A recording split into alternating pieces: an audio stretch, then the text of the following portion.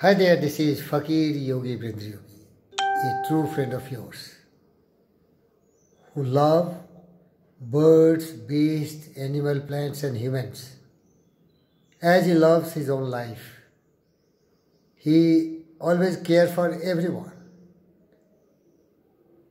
I think the world is my family and I always wish all the best for everyone. And only then I will feel harmony peace and joy in my own mind. Once the whole environment is serene and calm, it is guided by the fundamental principles of truth, justice, peace, love, and non-violence. Kindness, compassion, honesty, integrity, humility, generosity, and cooperation. People love one another. Countries always respect each other's territorial boundaries and try to cooperate with each other so that the whole earth is a place for peace, joy, and happiness. People are non-violent.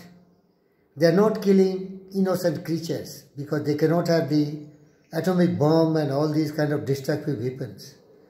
People are very clever, but they are very kind also.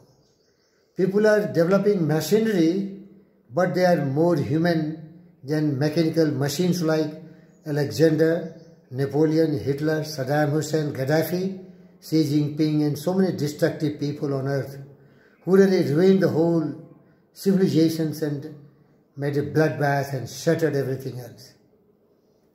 That is my attitude. And that can be really attained if people know the transitory nature of life. The greatest of the great, like Alexander, he could survive just 33 years. But what a bloodthirsty man. He conquered the whole known part of the earth. Hitler, this bloody wanted to conquer the whole earth, fought war at seven fronts. Ultimately, he shot himself. Evil's doer will be punished. They cannot escape because they are guided by greed, anger, hatred, jealousy, and cynical thoughts. So remind you, my friends and viewers, be very wise.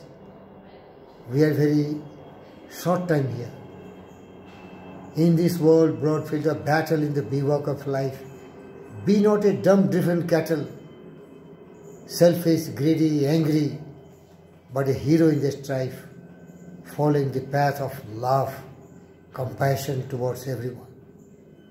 And if you want still some more emphasis on that, then I can really tell my best friend Richard Attenborough, Richard Attenborough to read for you the poem was a Ozymandias, where the Ramses II, one of the most powerful king, who really shattered all the neighboring kings, grabbed all the kingdom. And when he died, nothing besides repents, boundless and bare all around. Just some kind of memory of such great, gigantic power. You are going to meet the same face. People should remember you. Follow your footprints. If you are really very kind and generous, like Gautama Siddhartha Buddha, Jesus, what we are going to give to the world. I met a traveller from Now I listen from my best friend, Richard I Attenborough. met a traveller from an antique land Was who this? said, Two vast and trunkless lakes of stone stand in the desert. Near them, on the sand, half sunk a shattered visage lies, whose frown and wrinkled lip and sneer of cold command tell that its sculptor well those passions read which yet survive, stamped on these lifeless things, the hand that mocked them, and the heart that fed. And on the pedestal these words appear. My name is Ozymandias, King of Kings. Look on my works, ye mighty, and despair. Nothing beside remains.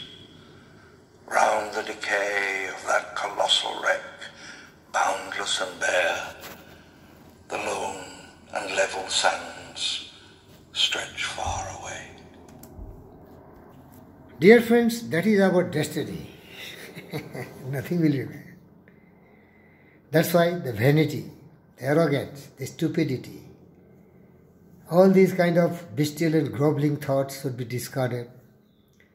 And all the divinely thoughts, it should be planted in your mind. And that can make you a wonderful person. Thank you, viewers. Be wise. Love all, respect all, care